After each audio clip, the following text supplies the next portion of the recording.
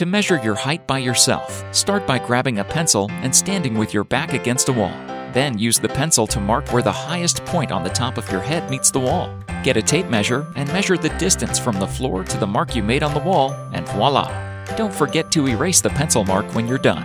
To learn how to measure your height using a stadiometer or makeshift ruler, keep reading.